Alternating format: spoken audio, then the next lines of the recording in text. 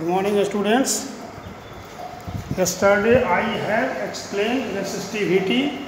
Once again, some more terms related to resistivity. Resistance equal to rho L by A. Rho equal to resistivity. It is also called resistivity is also called a specific resistance. A specific resistance. So never get confused. Resistivity is also known as specific resistance. Our purpose is what is the unit, how to calculate the unit of resistivity. So unit of resistivity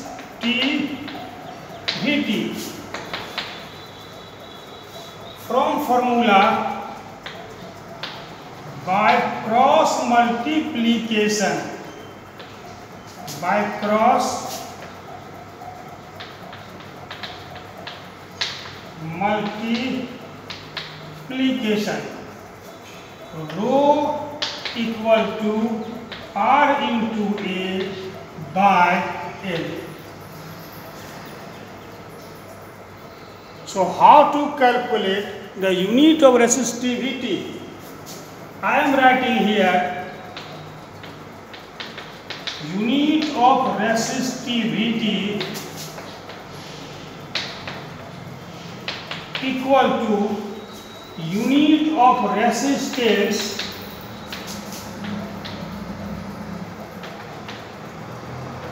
into unit of area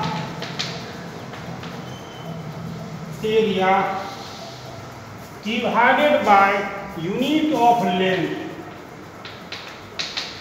Unit of length. Okay. So i have to put the value of unit of resistance all of you know. Resistance is measured in SI system. I am writing here SI unit of different physical quantities. So resistance is measured in ohm OHM. And all of you know from very beginning, area is measured in meter square in SI system or standard system. Unit of area meter square, square meter, meter into meter, meter square. And SI unit of length that is meter, meter. So 1 meter, 1 meter cancel. What is the remaining part? That is ohm meter. If anyone asks you what is the SI unit of resistivity, your answer will be ohm meter. Okay, you can also write down in short what is the symbol of ohm meter.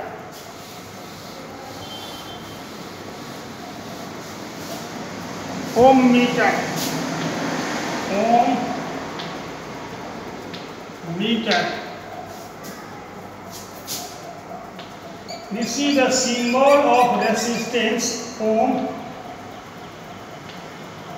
and m for meter so symbolically you can write down ohm meter okay in this way we can calculate the resistivities and its unit. This means if resistance is given rho equal to I written here R into A by L. If resistance is given, area of the wire, that is area of cross section of the wire is given and length of wire, length of conductor in meter it is a square meter, it is in ohm. We can easily calculate resistivity in ohm meter. Okay, so this is what is resistivity and how to derive the unit of resistivity and how to solve the numerical question based on this resistivity. Thanks, that's all.